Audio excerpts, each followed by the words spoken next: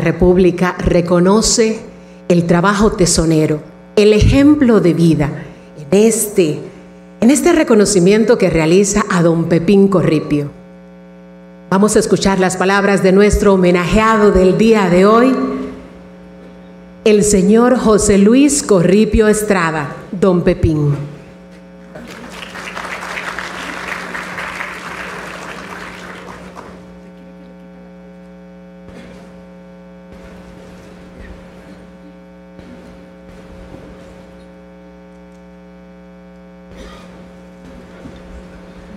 A excusar si en algún momento de mi participación en estas palabras eh, cometo algún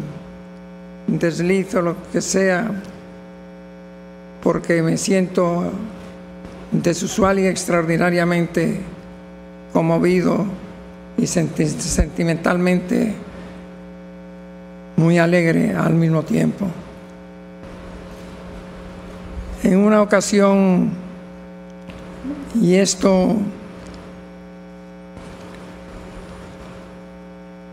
fuera de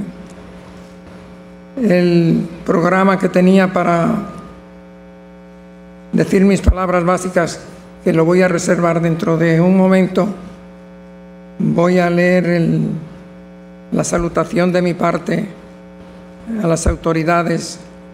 y a las personas, todas las que están aquí, a las cuales le agradezco su compañía en este momento memorable de la vida mía y de mi familia. Y quiero rendirles mis saludos afectuosos por acompañarme con su presencia. Excelentísimo señor presidente, Constitucional de la República Dominicana, licenciado Luis Abinader Corona. Excelentísima señora vicepresidenta de la República, doña Raquel Peña Rodríguez. Honorable señor Eduardo Estrella, presidente del Senado de la República. Honorable señor Alfredo Pacheco, presidente de la Cámara de Diputados de la República. Honorable magistrado Luis Henry Molina, presidente de la Suprema Corte de Justicia mi esposa Ana María de Corripio. Señor Hipólito Mejía, presidente constitucional de la República Dominicana, honorables senadores y senadoras, honorables diputados y diputadas, distinguidos ministros y ministras, queridos colaboradores y colaboradoras, señoras, señores, muy buenos días. Faltan personas a las cuales se supone que debiera de mencionar, pero les ruego me excusen porque estoy trabajando con una, una lista que me entregaron hace un momento y les pido excusas por la ausencia. Dicho esto, voy a hablar fuera de la parte sustancial del día de hoy en referencia al reconocimiento que se me da y que yo siempre he dicho que estos reconocimientos son más apropiados de mi parte hacia el pueblo dominicano y no del pueblo y la sociedad dominicana a mi persona ni a la de mi familia, ya que nosotros tendríamos que estar dando un reconocimiento gratuito, permanente y completamente diario durante todas nuestras vidas por la acogida que dieron a mis antecesores, mis padres y todas las demás personas de la familia que vinieron a este país bendito donde habita la mejor gente del mundo.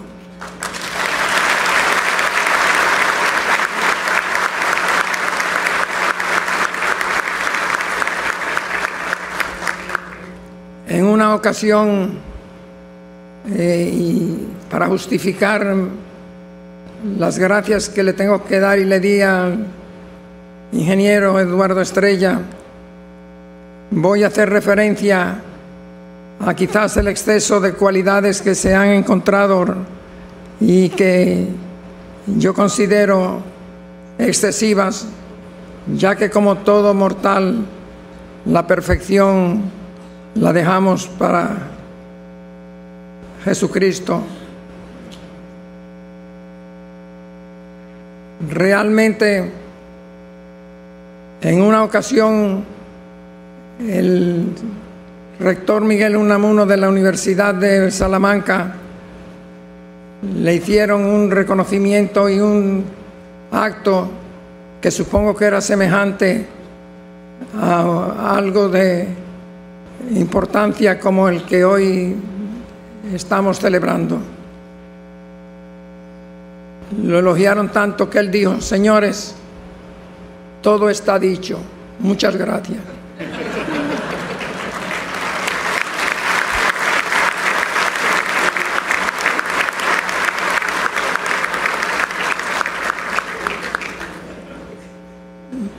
No me voy a poner tan engreído como para decir semejante cosa. Pero se corre el riesgo, querido amigo Eduardo, se corre el riesgo de que el que los oye, el homenajeado, cometa el error de creérselo al pie de la letra y se vuelva engreído. Bien.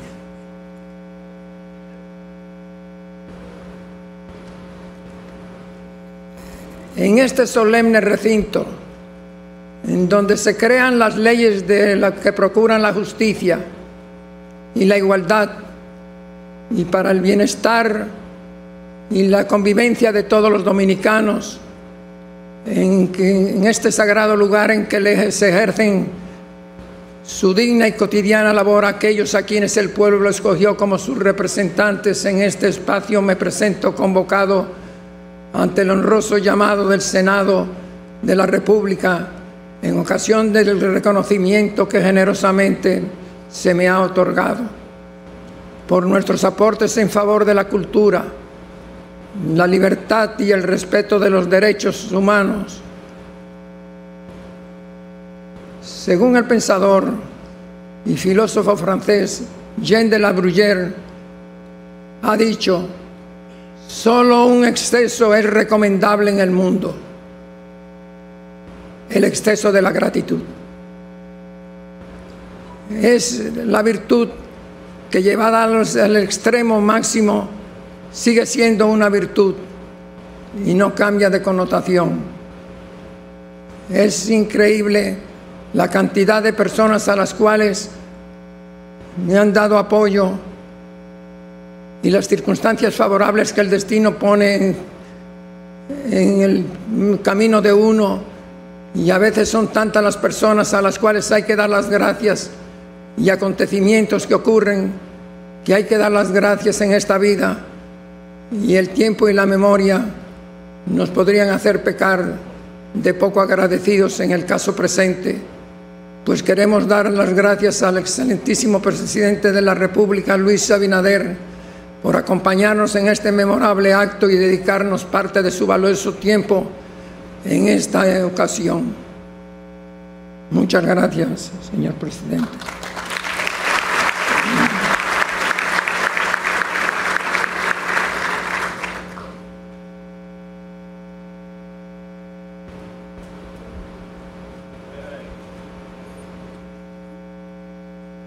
Además de la excesiva generosidad del presidente del Senado, ingeniero Eduardo Estrella, por haber sometido esta resolución, eh, por el cual le damos las muchas gracias, y a los senadores y senadoras que tuvieron a bien aprobar este reconocimiento, el cual acepto en nombre de la familia que nos los familiares que nos antecedieron, con más mérito que quien les habla, y que les tocó llegar en el tiempo de la siembra en la vida y en la lucha. Y tuve, yo en cambio tuve la suerte de llegar en la época de la cosecha y de haber contado con las enseñanzas que me suministraron y alimentaron mis conocimientos, recibidas no solamente en los institutos educativos, sino también de boca y fuente del ejemplo de Manuel, mi padre, y Sara, mi madre así como contar con el invaluable apoyo de mi esposa Ana María, el ángel guardián de nuestra unidad familiar y la contribución de nuestros cuatro hijos, Manuel, José Alfredo, Lucía y Ana,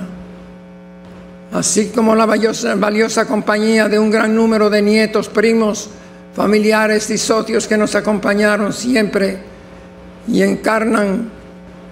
la continuidad del compromiso familiar de trabajar por el desarrollo de este hermoso y maravilloso país. Nuestra familia se incorporó a la República Dominicana hace más de 100 años. Atravesando el océano de lo incierto, mis mayores conocieron que en esta tierra de bondad había un pueblo, un pueblo laborioso que fue solidario con la gente que como mi padre siempre decía que llegaron en un barco con un boleto de tercera clase porque no había uno más económico. Y que pese a las limitaciones y precariedades, ese pueblo le abrió los brazos tanto a ellos como a cientos de familias de inmigrantes que tuvieron que salir de sus países de origen pensando que perdían su madre patria sin saber que estaban ganando otra, la República Dominicana.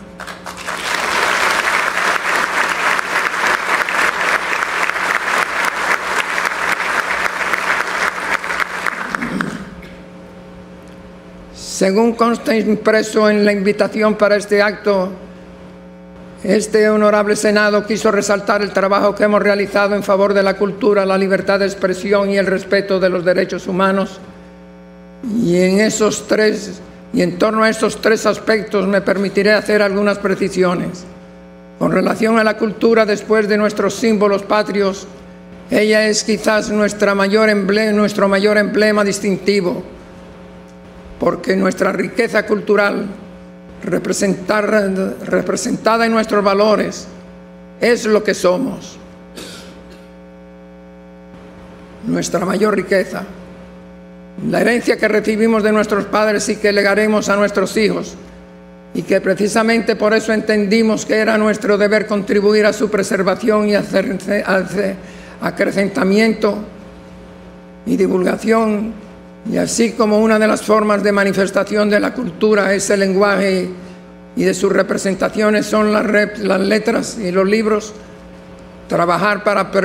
para preservar y transmitir nuestra riqueza cultural ha sido una constante de nuestra vida, la que más nos llena de satisfacción. Pues creemos que con ello contribuimos a que nuestro país tenga una ciudadanía más orgullosa de su identidad más consciente de su historia y de su destino.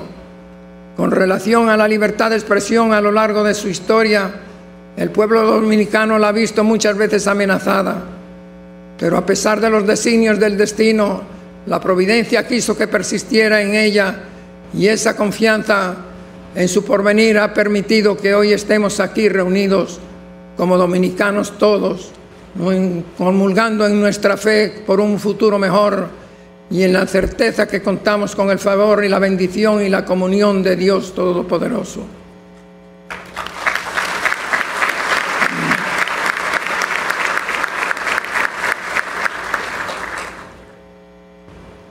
Precisamente porque creemos que la libertad es la madre de nuestra democracia, entendimos que era una obligación moral mantenerla y preservarla desde nuestros medios de comunicación, por lo que de ellos y desde ellos aupamos la libre expresión de las ideas haciendo que fueran, tal como lo reza el eslogan de nuestros medios de comunicación, la voz de todos, por dar participación ecuánime, libre e independiente a las diferentes expresiones del pensamiento político y filosófico en todas sus versiones. Con relación a los derechos humanos,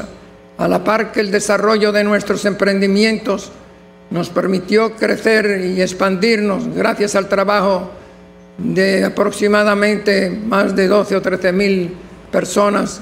que con su colaboración directa en el grupo se ha incorporado a la actividad económica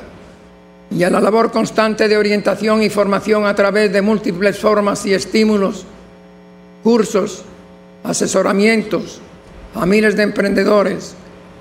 que también en el destino nos otorgó la responsabilidad de gestionar empresas y en ellas siempre hemos tenido como norte el respeto a los derechos humanos,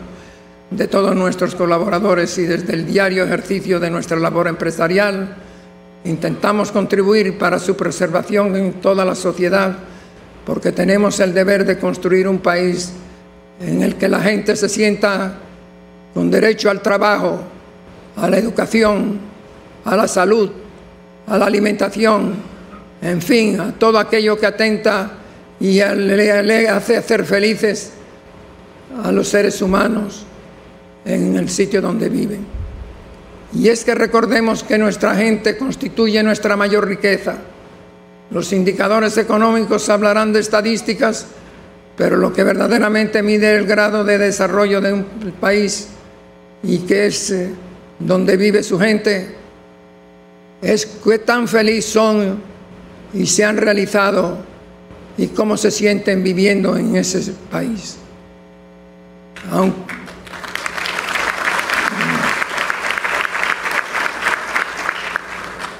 En una ocasión, en una entrevista que yo di en Madrid, por cierto, me preguntaron con relación a una convención de turismo que había muy importante anual en Madrid y me dijeron que cómo estaba el turismo en la República Dominicana en medio de la pandemia y yo dije que a pesar de todo se había hecho una labor excepcional a nivel mundial y que seguía todo recuperándose muy rápidamente. Y me dijeron, ¿y qué es lo que le ofrece al turista el dominicano, el pueblo dominicano? Y yo le digo, usted espera que yo le hable de las playas que todos conocen, que son las más bellas del mundo. Usted espera que le hable tal vez de la forma de vida y el paisaje y otros aspectos de la vida, pero le voy a decir lo siguiente, nada de eso es lo más importante. Lo más importante y lo que más atrae a todo el turismo del mundo entero en Santo Domingo es los dominicanos, su gente.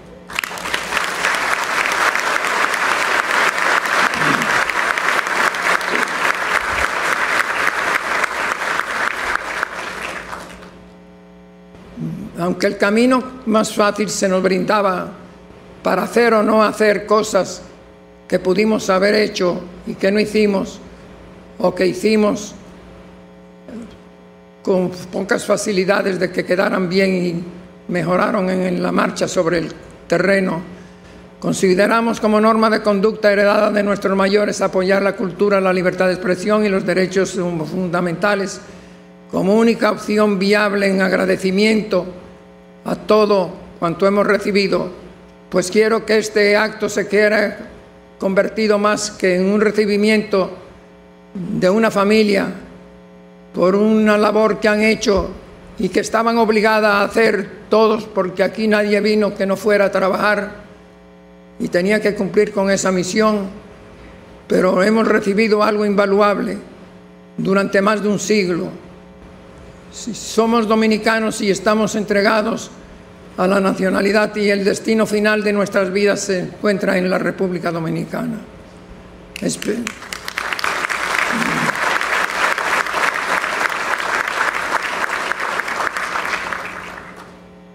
Pero en especial hemos recibido afecto, cariño, apoyo, todo lo que resumido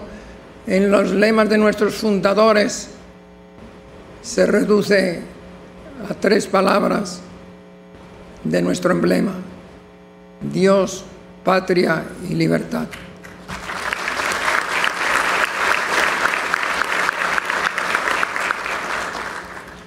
El mundo ha dado muchas vueltas desde aquel gran día en que llegaron a nuestra patria los primeros miembros de nuestra familia y hemos tenido la suerte de desarrollarnos a la par del pueblo dominicano siendo a la vez testigos y contribuyendo a su permanente unión por lo que hacemos votos, porque esta unión, considerada el eje fundamental de la armonía y el desarrollo de los pueblos, sea preservada como nuestro más grande tesoro, la unión y la unidad. Tal como nos lo fue legada esa, esa unión y unidad con la intención y el deseo de los fundadores de la nacionalidad dominicana, pero no podemos olvidar tampoco que los éxitos alcanzados fueron logrados como se logra gran parte de la vida con el esfuerzo colectivo de muchas personas, como si fueran muchas flechas en un sólido haz unidas y que se puede celebrar y cantar como un evento unipersonal y del elogio a pocas personas. Cada pieza, por pequeña que sea, que ha intervenido en el desarrollo de nuestra actividad y nuestra eh, actitud en la República Dominicana,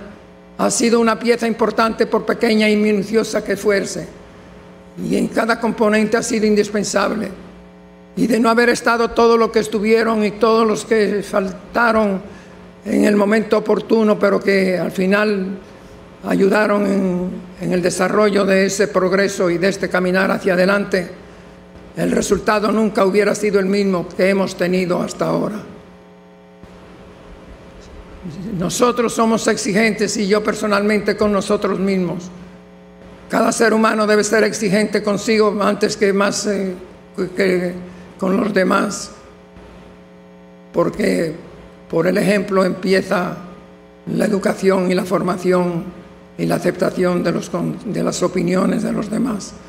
Creemos siempre que hemos hecho menos de lo que podíamos haber realizado. En un análisis retrospectivo pensamos que pudimos haber hecho más y por lo tanto no estamos celebrando ni cerrando una etapa de una labor continuada y terminada, sino manteniéndola en crecimiento, con entusiasmo, con renovadas fuerzas, como es nuestro deber.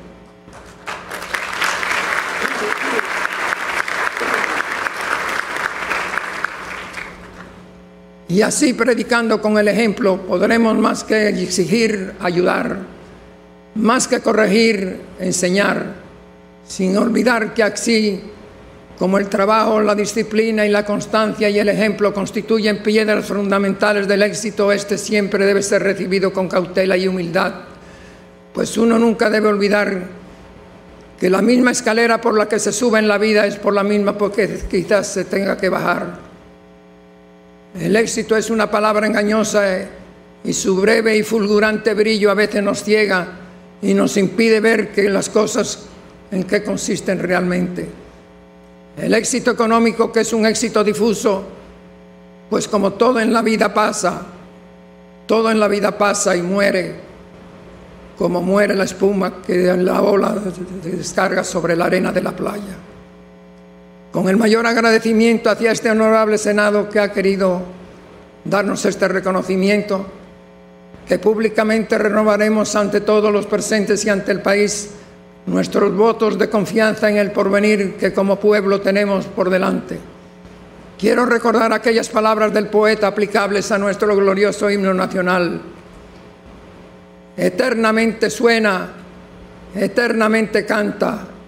y cuando sobre el mundo ninguna humana planta trace radiantes surcos de la belleza en pos, y aún resuenen los ecos de tus notas, transmontando por las tinieblas rotas, como un beso infinito que va buscando a Dios.